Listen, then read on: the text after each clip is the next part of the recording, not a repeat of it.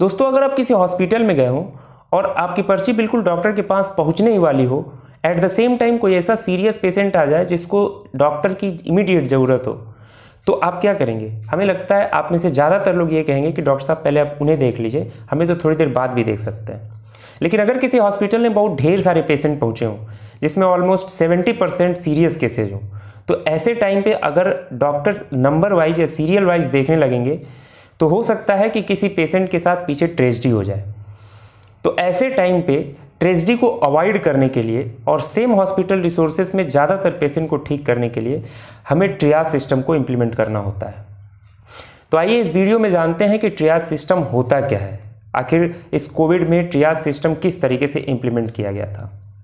दोस्तों, आपने देखा होगा कि कोरोना वायरस की सबसे बदतर स्थिति मुंबई में थी, पर मुंबई में अब ऐसी स्थिति देखने को नहीं मिल रही है। अब इसके पीछे कोई एक रीजन नहीं है। Number of cases, number of hospitals, population, Covid protocols, ये सभी चीज़ें रिस्पॉन्सिबल हैं केसेस को कम करने में।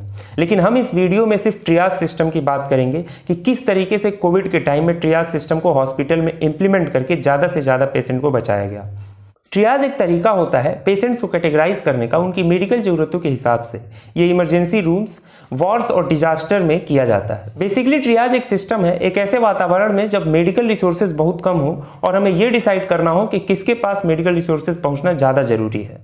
ट्रियाज सिस्टम पहली बार 19वीं शताब्दी में डेवलप हुआ जब नेपोलियोनिक युद्ध के दौरान ज़्यादा लोग घायल हो रहे थे और वर्ल्ड वार फ़र्स्ट के बाद ये ट्रियाज सिस्टम और डेवलप हो गया।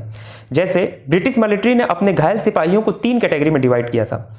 जो सोल्जर ज़्यादा घायल नहीं थे, उनको प्रायोरिटी दी गई थी और उनको तुरंत लड़ने भेज दिया गया था। जिनको ज़्यादा मेडिकल अटेंशन की ज़रूरत थी, उनको एक फ़ील्ड हॉस्पिटल में भेज दिया गया। और जिन सोल्जर्स के बचने के चांसेस बहुत कम थे, उन्हें लास्ट प्रायोरिटी दी गई थी। लेकिन आज के डेट में ये ट्रियाज सिस्टम थोड़ा बदल गया है। जैसा कि आप इस पिक्चर में देख सकते हैं यूएस के 9/11 अटैक के टाइम में कुछ डॉक्टर ट्रियाज सिस्टम डेवलप कर रहे हैं और ये है चेन्नई का Covid triage centre basically triage का फ़ायदा यही है कि मेडिकल रिसोर्सेज उन्हीं को दी जाती हैं जिनको उसकी सबसे ज़्यादा ज़रूरत होती है और जिनके जान बचने के चांसेस सबसे ज़्यादा होती है। जैसे एग्ज़ाम्पल के तौर पे, इस ट्रियाज चार्ट में देखिए, यहाँ पर पहली प्रियरिटी उनको दी जा रही है जिनके ज़िंदगी को खतरा है और उनके बचने के चांसेस भी ज़्यादा हैं। दूसरी प्रियरिटी उन लोगों के लिए है जिनकी ट्रीटमेंट कुछ समय बाद की जा सकती है बिना उनकी ज़िंदगी को जोखिम में डाले हुए। तीसरी वो ग्रुप हैं जिनके घाव बहुत कम हैं। चौथा ग्रुप है उन लोगों का जिनके हालात बहुत गंभीर हैं, पर या तो जितनी मेडिकल रिसोर्सेज की आवश्यकता है उतनी रिसोर्सेज नहीं है, या उनके बचने की चांसेस बहुत कम हैं। इस वजह से इनको बहुत कम प्रायोरिटी दी जाती है और ऐसे सिस्टम के चलते इस कोविड के टाइम में हॉस्पिटल वालों को इनको मना करना पड़ता है। लेकिन ये जितना आसान दिख रहा है, उतना आसान है नहीं।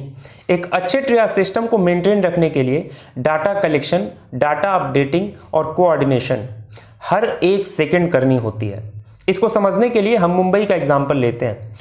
कोविड के फ़र्स्ट वेव में ही बीएमसी को यह अंदाज़ा लग चुका था कि इस कोविड 19 जैसे पैंडेमिक से निपटने के लिए ट्रियाजिंग सिस्टम बहुत ज़रूरी है। इसलिए मुंबई ने अपने सभी वार्ड में, मुंबई में टोटल 24 वार्ड हैं, मुंबई ने अपने सभी वार्ड में एक वॉर रूम क्रिएट किया। अब सबसे पहले इन वॉर रूम्स को कोविड पॉजिटिव लोगों की एक लिस्ट आती है, गवर्नमेंट और प्राइवेट लेबोरेटरीज की तरफ़ से। और इन लेबोरेटरीज को हर दिन में दो बार इन्फॉर्म करना होता है इन सभी वॉर रूम्स को कि कौन कौन से पेशेंट पॉजिटिव आए हैं। इनफैक्ट पेशेंट से पहले इन वॉर रूम को पता होता है कि किसकी रिपोर्ट पॉजिटिव आई है। फिर वॉर रूम से उस पेशेंट के पास कॉल जाता है और कॉल पे ही सारी डिटेल ली जाती है।